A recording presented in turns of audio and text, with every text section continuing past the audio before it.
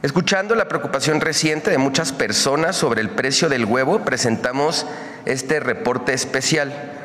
Tenemos registrado que el paquete de 18 piezas de huevo blanco se ha vendido en un promedio semanal de 52 pesos con 46 centavos. Y desde el mes de junio de este año el comportamiento de su precio no ha presentado variaciones considerables.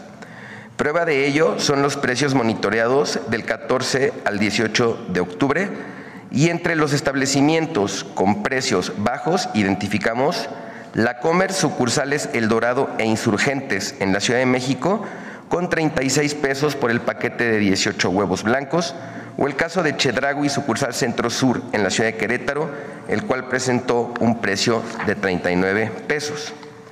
Y reportamos los precios más altos que encontramos en este monitoreo, entre los que se destacan a precio en la región norte, en Tijuana, sucursal Jardines, que lo vendió en 66 pesos con 90 centavos, o en el caso de Superaki en la región sur, en Cancún, la sucursal Crucero, que lo vendió en 61 pesos con 95 centavos.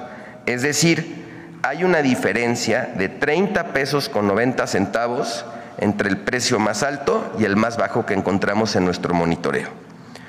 Como se muestra en la gráfica, este producto en la primera semana de enero de 2023 tenía un precio promedio de 53 pesos con 36 centavos y se ha mantenido estable. Al día de hoy su precio se encuentra por debajo de dicho promedio.